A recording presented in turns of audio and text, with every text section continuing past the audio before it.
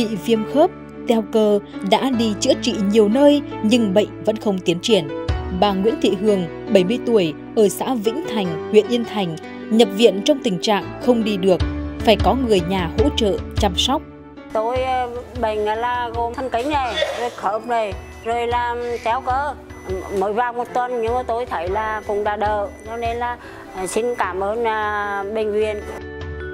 Đến bây giờ, ai gặp ông Thái Văn Lân, 72 tuổi, ở xã Hoa Thành, huyện Yên Thành, cũng không thể ngờ chỉ cách đây mấy tháng, ông lúc nào cũng trong tình trạng mệt mỏi vì luôn bị những cơn đau khớp xương hành hạ. Hiện nay, qua đợt điều trị tại bệnh viện, bệnh của ông gần như thuyên giảm rất nhiều. Khi trở về bệnh viện phục hồi chức năng của Nghệ An thì gọi như là được nhiều cái phương pháp và bệnh bây giờ là đã giảm đến 70% rồi bởi vì đi lại bình thường rồi là bộ đội phục viên bị tay biến mạch máu não, ông Đậu Hùng Vĩ, 75 tuổi, ở xã Quỳnh Hoa, huyện Quỳnh Lưu, không tự phục vụ được. Tất cả mọi sinh hoạt nhỏ nhất đều do vợ ông phục vụ.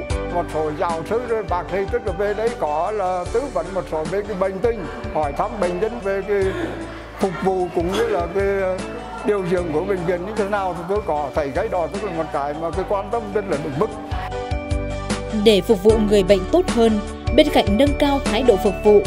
Thời gian tới, Bệnh viện Phục hồi chức năng Nghệ An tiếp tục mời các giáo sư đầu ngành về chuyển giao khoa học kỹ thuật cho đội ngũ bác sĩ, điều dưỡng viên, hướng tới mô hình bệnh viện, khách sạn đạt chuẩn theo tiêu chí của Bộ Y tế.